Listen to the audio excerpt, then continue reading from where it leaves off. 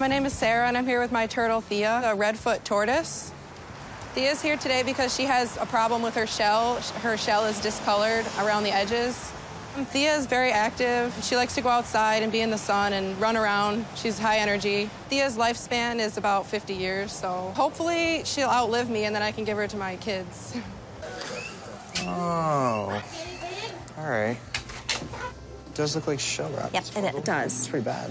Shell rot on turtles can be a fungal or bacterial or combination of the two infection. So what you need to do is Dremel off the areas that are affected by the fungus, and then you're going to put Kopertox on there, which is a potent antifungal, and that'll help kill off the fungus. Do it prevents it outside. His environment is probably too humid.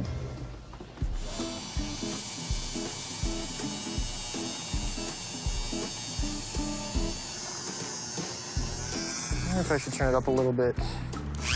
Oh, just sounds awful. Working off his sweat. Thank God he's not a bigger tortoise. Oh, that's a really big Wow, that is a lot of poops. Thank you. Thank you.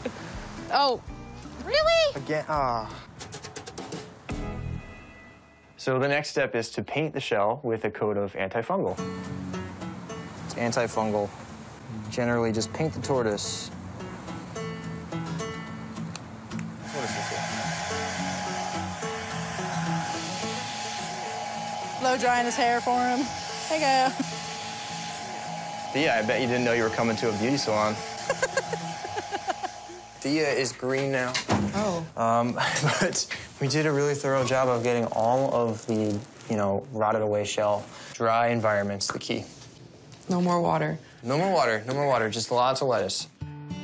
Um, well, I'm gonna go home and get rid of her water dish because she has too much moisture in her cage and just reduce the moisture so it won't happen again. I'm very happy. And I think she feels better now, too. Long day for her.